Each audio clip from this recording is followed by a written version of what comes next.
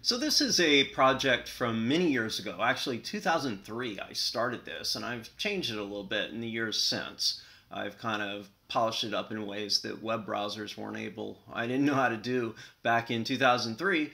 But uh, this is for Condorcet voting and showing, it actually allows you to vote here. You can pick candidates. In this case, they're restaurants. This was, uh, I did restaurants for um, my previous employer, we used to always argue over which uh, restaurant to have to get lunch brought in from every day. So I said, why don't we just vote on it? And we tried this a few times just for kicks, and worked worked fine.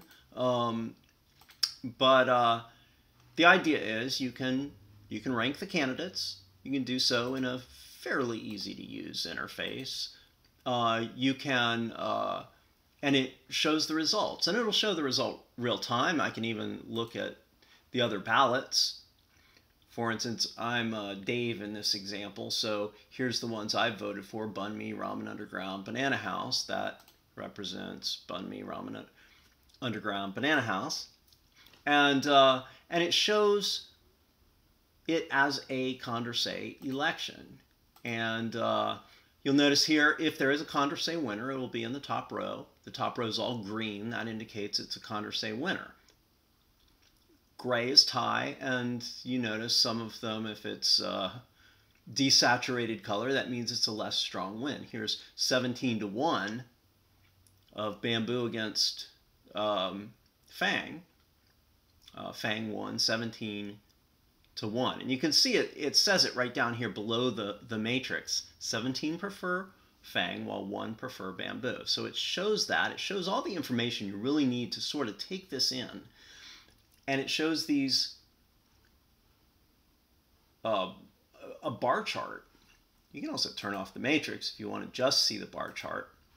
The matrix is the, the um, what you might say is the canonical answer, the bar chart is trying to show, for instance, that banh mi and Parillo are very, very close.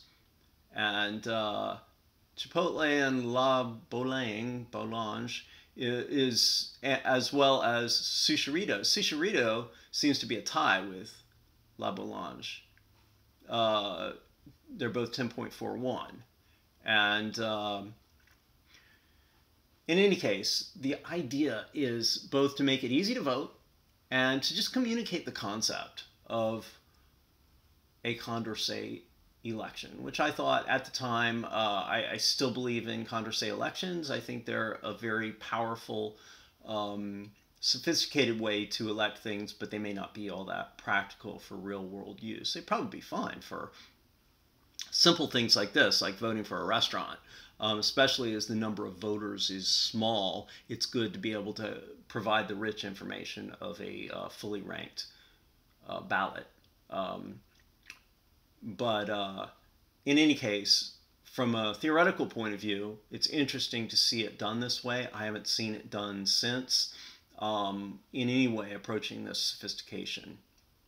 And by the way, you can actually see where I talk about this back in October 2003 on the um, election methods mailing list. And I'm actually asking some of the math people there about how you might want to do the um, the scoring because that is a very tricky problem, and I'm not even sure that my solution is uh, 100% consistent with what you expect from a Condorcet election.